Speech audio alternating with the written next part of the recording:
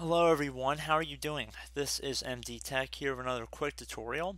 In today's tutorial, I'm going to show you guys how to change the priority of app notifications in Action Center on your Windows 10 computer. So the Action Center in Windows 10 collects and shows notifications and alerts from Windows applications and system notifications as well.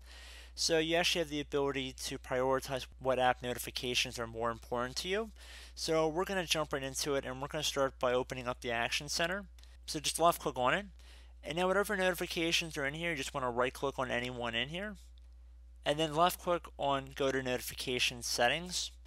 Again, doesn't matter which one you select that for.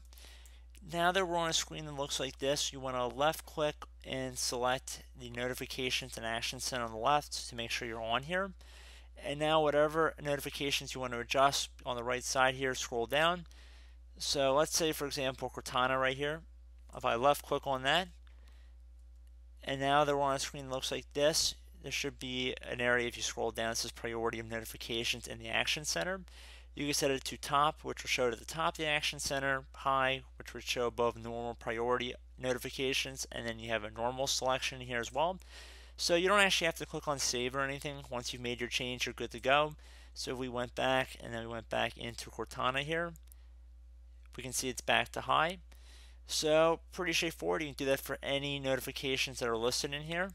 So you can see there's not too many, but if you have more programs and apps on your computer, there will likely be a longer list in here.